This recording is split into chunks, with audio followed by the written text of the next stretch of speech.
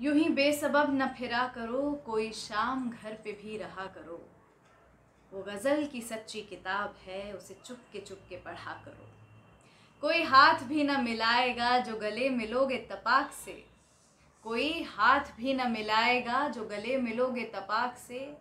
ये नए मिजाज का शहर है, ज़रा फासले से मिला करो। कोरोना वायरस के चलते फासला बनाए रखिए। इसके लिए कुछ प्रिकॉशनरी मेजर्स हैं जो आप ले सकते हैं। जैसे कि हाथ को 20 सेकंड तक लगातार धोएँ, किसी भी सरफेस को टच करने के बाद बार बार धोएँ।